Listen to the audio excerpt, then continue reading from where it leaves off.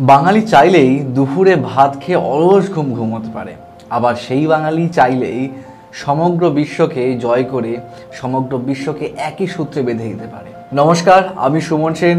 আজ কথা বলব স্বামী বিবেকানন্দর মতনই আরেকজন বিশ্ববিজয়ী সন্ন্যাসীর কথা।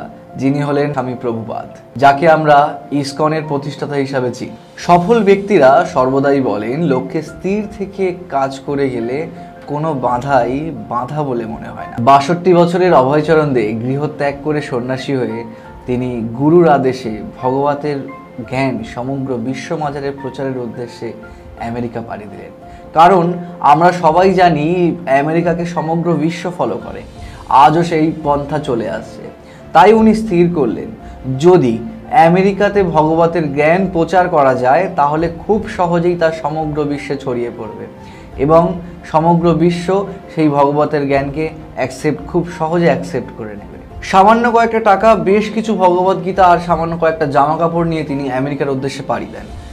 তারপরে যা, আমরা সবাই জানি যে জাহাজের যাত্রা কিন্তু খুব একটা সুখকর ছিল না তখনকার দিনে। স্বাভাবিকভাবেই তিনি একজন বয়স্ক মানুষ, তিনি কিন্তু ওই জাহাজের মধ্যেই তার দু, দুবার হার্ট অ্যাটাক হয়। সাধারণ মানুষ হলে কি হতো? ওই মুহূর্তেই সে ফিরে আসার পরিকল্পনা কিন্তু না তিনি ছিলেন স্বামী প্রভুপাদ। তিনি আরও দৃঢ় উদ্দেশ্য নিয়ে আরও তার উদ্দেশ্য আরও দৃঢ়তা বাড়িয়ে তিনি আমেরিকায় পৌঁছালেন। এবং আমেরিকায় পৌঁছে তিনি মিস্টার মিস্টোর বাড়িতে যোগাসনের যে অফিসটি ছিল, কোনো একটি জানলাবিহীন ঘরে তিনি তার থাকার ব্যবস্থা হলো। আমেরিকায় তিনি প্রধান উদ্দেশ্য নিয়েছিলেন যে একটি রাধাকৃষ্ণের মন্দির স্থাপন করবেন এবং সেখান থেকে তিনি জগৎ মাজারে বৈদিক জ্ঞান বিতরণ করবেন। যার জন্য তিনি মন্দিরকে বলতেন বৈদিক ইনস্টিটিউট যে মন্দিরে শুধু পূজা অর্চনা না, মন্দিরে বিভিন্ন রকম প্রচার, বিভিন্ন রকম জ্ঞান, আলোচনা, এই সমস্ত কিছু করার জন্যই তিনি কিন্তু মন্দির স্থাপনের উদ্দেশ্য নিয়েছিলেন। এবং তিনি সমাজের বেশ কিছু প্রভাব শক্তিশালী মানুষজনকে চিঠি লিখেছিলেন এবং তারাও তাকে আশ্বাস দিয়েছিল যে হ্যাঁ তারা তাকে অর্থ সাহায্য করবে। কিন্তু কোনো এক সময় গিয়ে তারা প্রত্যেকেই ওনাকে রিফিউজ করে দেন।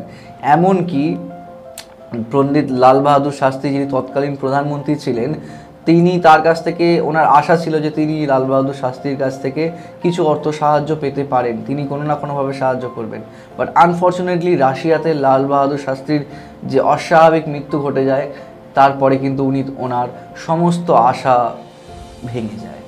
লাল বাহাদুর শাস্ত্রীর পরবর্তী প্রধানমন্ত্রী ইন্দিরা গান্ধীকেও উনি চিঠি লেখেন অর্থ সাহায্যের জন্য। কিন্তু ইন্দিরা গান্ধীর সেক্রেটারি তাকে উত্তর দেয় যে এই মুহূর্তে সিচুয়েশন খুবই খারাপ, ফলে আমরা আপনাকে অর্থ সাহায্য করতে পারছি না। আপনার উদ্দেশ্য অনেক মহৎ বাট আমাদের দ্বারা এটা সম্ভব নয়। এমতো অবস্থায় উনি স্থির করেন, আমেরিকার রাস্তায় বই বেচে ওনার বইয়ের যে রয়্যালিটি হয়, সেই রয়্যালিটি থেকে উনি ওনার এই অর্থ জোগাড় করবেন। এবার একবার ভেবে দেখুন এই রকম একজন সন্ন্যাসী আমেরিকার রাস্তায় যে ধুতি পাঞ্জাবি পরে আমেরিকার বইয়ের দোকানগুলোতে বই বেচতে যাচ্ছে এবং বই বেচছেও সেই সময় আমেরিকায় ছিল প্রচণ্ড ঠান্ডা। যে আমরা কলকাতার ঠান্ডায় এত কিছু পড়ার পরেও প্রচণ্ড কাঁপতে থাকি, ওনার মতন সন্ন্যাসী স্বা- স্বামী প্রভুপাদ শুধুমাত্র মনের জোর এবং ভগবানের প্রতি বিশ্বাস রেখে উনি আমেরিকার রাস্তায় রাস্তায় বইগুলোর প্রচার করতে থাকেন। বিভিন্ন দোকানে গিয়ে বইগুলোকে দিতে থাকেন। সব দোকান যে সমানভাবে তাকে অ্যাকসেপ্ট করেছে এমন নয়। আমাদের এখানে যেমন কটূক্তি শুনতে হয়, ওখানেও উনি কটূক্তি প্রচুর শুনেছিলেন। তাও উনি দমে যাননি। আমেরিকার ভয়ঙ্কর ঠান্ডায় যে যে ঠান্ডা যে ঠান্ডা হাওয়ায় মানুষের হাড় পর্যন্ত গলে যেতে পারে, সেই ঠান্ডা হাওয়ায় উনি রাস্তা দিয়ে হেঁটে গিয়ে উনি কিন্তু তার বইয়ের প্রচার চালিয়ে গিয়েছিলেন। ওনার এই অদম্য ইচ্ছায় ওনার মতন একজন মানুষকে যে কোনো পরিস্থিতি কাটিয়ে উঠতে সাহায্য করেছিল। এরপরের একটি ভয়ঙ্কর ঘটনা হচ্ছে আমেরিকা ভিয়েতনামের যুদ্ধ। যে সময় আমেরিকার ভিয়েতনামের যুদ্ধ চলছে, সেই সময় প্রচুর যুবক, যুবতী মাদকাসক্ত হয়ে রাস্তায় ঘুরে বেড়াচ্ছে, যাদেরকে আমরা হিপি বলে চিনি। রাস্তায় ঘুরে বেড়াচ্ছে বলে তারা আন্দোলনে নেমেছে যে তারা যুদ্ধে অংশ নিতে চায় না, এরকম আরও অনেক কিছু। এবং তারা গৃহহীন, তাদের যে আচার আচরণ প্রচণ্ড খারাপ, তারা অবাধ যৌনতা, অবাধ মাদকাসক্ত এবং সব কিছুতেই তারা অবাধ। তারা সমাজের চোখে অশ্লীল হিসাবেই পরিচিত ছিল। তিনি কি করলেন? প্রভুপাদ ঠিক করলেন যে এই সমস্ত মানুষগুলোকে সমাজের মূল স্রোতে ফিরিয়ে আনবেন। তিনি তাদের সঙ্গে, তাদের সামনে গিয়ে হরিনাম সংকীর্তন শুরু করলেন। তার এই হরিনাম সংকীর্তন শুনে সবাই যে খুব সহজে তার কাছে চলে এসেছিল এমন নয়। প্রত্যেকটা হিপি তার সামনেই অবাধ যৌন আচরণ করতে শুরু করল, এমনকি তারা সিগারেট খেয়ে সিগারেটের ধোঁয়া পর্যন্ত তার মুখে ছাড়তো। তারপরে কটুক্তির তো কোনো কথাই নেই। এই সমস্ত কিছুর পরেও স্বামী প্রভুপাত কোনোদিন তাদের প্রতি ভালোবাসা কমাননি, তাদেরকে আরও বেশি ভালোবাসতেন, তাদেরকে বিভিন্ন রকম খাবার রান্না করে এনে খাওয়াতেন, গোলাপজাম তাদেরকে রান্না করে খাওয়াতেন এবং আস্তে আস্তে আস্তে আস্তে এই সমস্ত মানুষগুলোর মধ্যেই প্রায় দশ হাজার মানুষ তার শিষ্যতে পরিণত হয়।